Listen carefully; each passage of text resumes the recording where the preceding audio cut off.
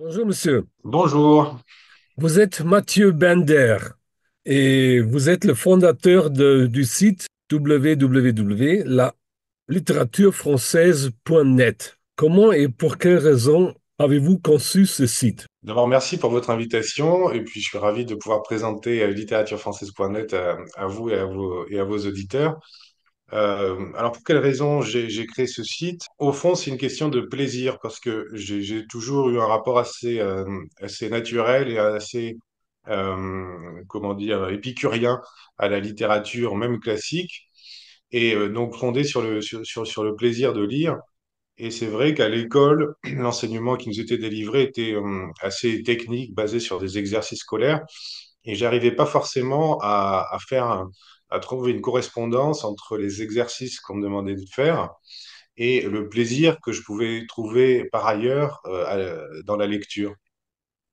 Donc j'ai beaucoup pensé à ça, et quand j'ai regardé ce qui existait euh, euh, sur Internet concernant la littérature française, j'ai trouvé qu'il y avait des, des sites spécialisés qui sont, qui sont plutôt qui sont soit consacrés à un auteur particulier, euh, soit euh, dédiés à un public de chercheurs, donc dans un, dans un, dans un but plutôt académique, ou bien des sites qui sont aussi euh, assez généralistes hein, sur, sur la littérature française, il y en a, mais qui sont toujours menés dans une, euh, conçus dans une approche assez scolaire de la littérature, assez académique, en vue de faire réussir les, les, les élèves pour des examens, des exercices. Et je pense qu'aujourd'hui, la lecture, on sait, est un peu en crise, surtout chez, les jeunes, et surtout pour la littérature classique au sens large. Et je trouve que c'est, euh, j'ai trouvé que c'était une idée intéressante et, même très importante euh, de, parler de ce qu'il y a de fondamental dans la littérature. C'est, d'abord, d'abord le plaisir, en fait, le plaisir de lire. Et donc, j'ai voulu transmettre ça à travers ce site. Ça, c'est la, première chose, c'est le plaisir. Et puis aussi donner, euh, donc de, faire découvrir la littérature française autrement, euh, et puis donner les moyens aussi de s'orienter un peu dans la littérature, parce que euh, souvent on est un peu, quand on découvre la littérature française, euh, on est curieux, mais on n'a pas forcément de connaissances. C'est très long, il y a beaucoup de beaucoup d'auteurs, beaucoup d'époques. Donc j'ai voulu créer, créer, un site très structuré euh, qui permet de se repérer et de voyager, d'explorer la littérature en sachant toujours où on est. Et puis, dernier point, c'est euh, aussi de créer une version anglophone et une version germanophone pour des publics qui sont pas forcément assez à l'aise en français pouvoir lire dans le texte, mais qui, sont curieux de découvrir la littérature française, en particulier, par exemple, le public euh, germanophone, et leur donner une version accessible dans leur langue pour qu'ils puissent aussi découvrir la littérature française euh, dans la langue allemande. Euh, comment avez-vous organisé la navigation sur votre site? J'ai bien compris qu'il y a des diverses portes d'entrée. Oui, c'est un peu l'originalité de, ce, de littératurefrançaise.net, c'est qu'il y a, différentes portes d'entrée pour, explorer la littérature. Alors, la première, euh, c'est d'abord euh, une porte d'entrée un peu euh, temporelle, chronologique, avec des objets numériques qui sont, développés spécifiquement pour le site. Donc, une frise chronologique déroulante et interactive qui permet de voyager dans le temps et de cliquer sur un auteur, de découvrir cet auteur avec un espace qui lui est dédié. Euh, et donc une approche historique assez développée, euh, une approche contextuelle assez développée. Ensuite, on peut entrer directement par, euh, chez les auteurs par un ordre alphabétique assez classique. Et puis, j'ai aussi développé deux modules un peu spéciaux. Le premier s'appelle la recherche thématique et c'est un module qui permet de découvrir des textes en fonction de thématiques et aussi euh, d'époques ou de genres littéraires. Il suffit de vous, voilà, vous cochez l'époque que vous souhaitez, euh, le genre de texte littéraire que, enfin, le, genre littéraire que vous souhaitez, du théâtre, de la poésie, de la prose.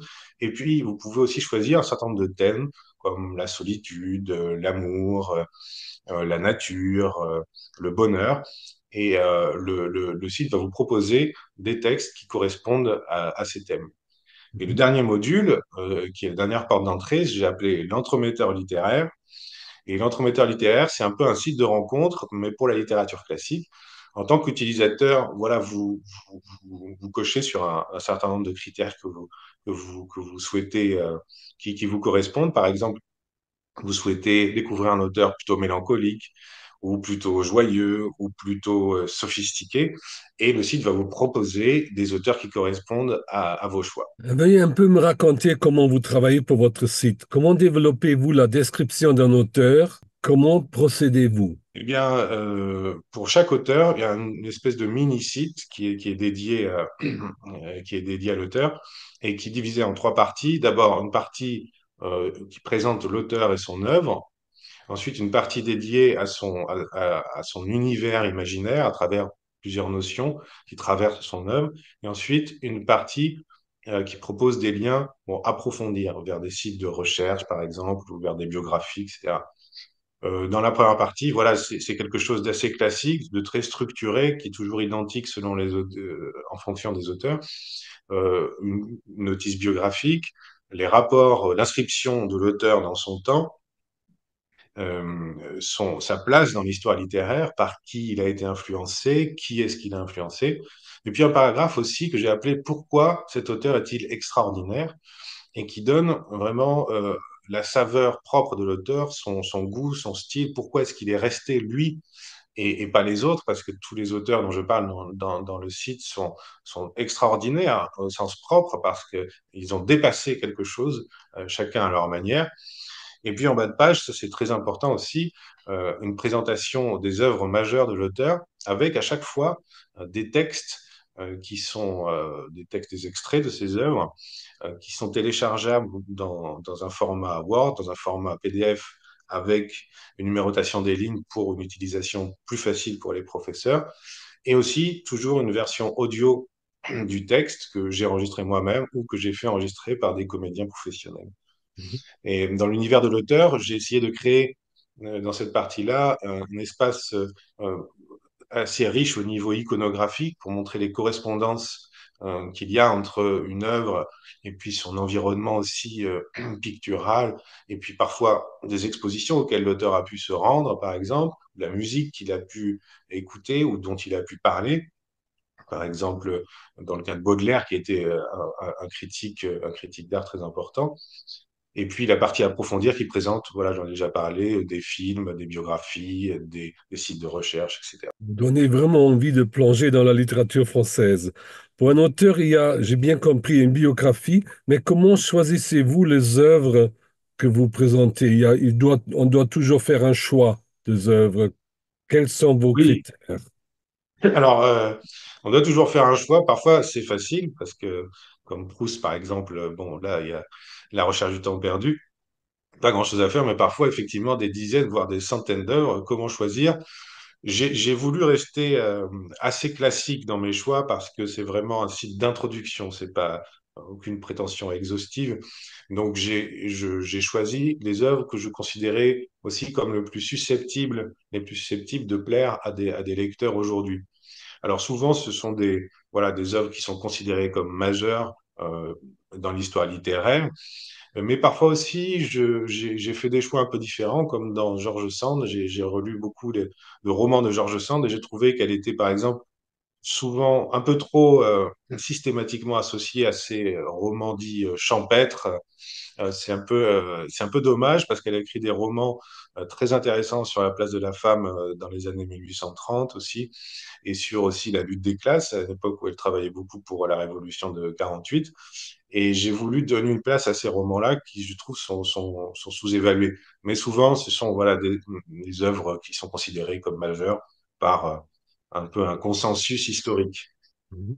Euh, Avez-vous des préférences? Vous pourriez nous citer un ou deux auteurs par siècle qui vous ont marqué tout particulièrement euh, Oui, j'ai bien sûr des préférences personnelles, même si je, je trouve un intérêt dans, dans, dans, chacun des auteurs dont je, dont je parle dans le site.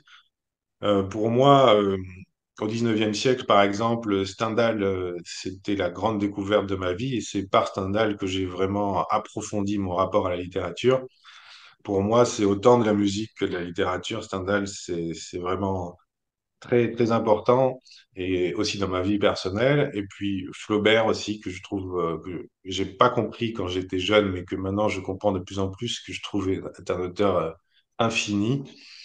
Et euh, après, il y en a, beaucoup. J'aime beaucoup Saint-Simon au XVIIIe siècle, par exemple, euh, qui, qui n'est plus très lu, mais je trouve que c'est un tort parce que c'est un styliste merveilleux. Euh, Pascal euh, et La Rochefoucauld au XVIIe siècle. Montaigne, je suis un grand, grand lecteur de Montaigne et, et je lis toujours avec beaucoup de plaisir. Mhm. Voilà. Euh, plus récemment, je dirais qu'au XXe siècle, j'ai essayé de parler, par exemple, de Marcel Aimé, qui est un auteur que je, que je trouve merveilleux et, euh, et qui devrait être, euh, qui devrait être plus lu. Comment pourriez-vous décrire votre passion pour la littérature? Vous vous rappelez comment elle est née? Mais comme je vous l'ai dit euh, au début, en fait, c'est vrai que j'ai, une approche vraiment basée sur, sur le plaisir de lire. Au début, elle, elle n'est pas venue directement par, par l'enseignement scolaire, mais je me rappelle de certains, je me rappelle certains textes, par exemple, des petites phrases euh, qui me sont restées dans l'oreille dans mes cours au collège, même au lycée. Je me rappelle par exemple d'un morceau de quelques phrases de Chateaubriand euh, qui nous avait été euh, donné en dictée. Mais je n'ai pas vraiment poursuivi à partir de ça. La grande découverte, pour moi, ça a été euh, euh, vraiment Stendhal. C'est là euh, que j'ai j'ai une passion vraiment pour un auteur euh, profonde. Et c'est ce qui m'a permis aussi euh, d'approfondir euh, de, découvrir la littérature. Parce qu'un un auteur comme Stendhal il il a des amis évidemment. Il a des, correspondants. Il a des auteurs avec qui il parle. Il se situe dans certaines problématiques euh, littéraires de son temps. Il vit aussi euh, bah, il parle de son temps, des, des, des problématiques historiques qu'il rencontre. Donc, c'est un carrefour finalement, ou une pelote de laine. Et si on tire un bout, ben, on, on découvre toute la littérature de son temps. Et si on découvre la littérature de son temps, ben, on découvre aussi euh, voilà, ses, ses, ses, opposants, Chateaubriand, alors pourquoi Chateaubriand, d'où vient-il, etc. Et c'est à partir de là que vraiment euh, j'ai construit ma, ma vision de la littérature. Euh, il y a des courants dans l'histoire littéraire. Il y en a que vous préférez? Oui, alors en fait, c'est vrai que j'essaie d'être euh, avec les courants littéraires. Je trouve que c'est parfois un peu excessif euh, de parler, par exemple, d'école littéraire, de courant. J'ai l'impression que c'est souvent, y compris pour les auteurs, un peu de publicité aussi qui se font à eux-mêmes ou une manière aussi d'exister en groupe pour imposer leurs livres, etc. Mais parfois, effectivement, ça correspond à une vraie, à quelques principes importants.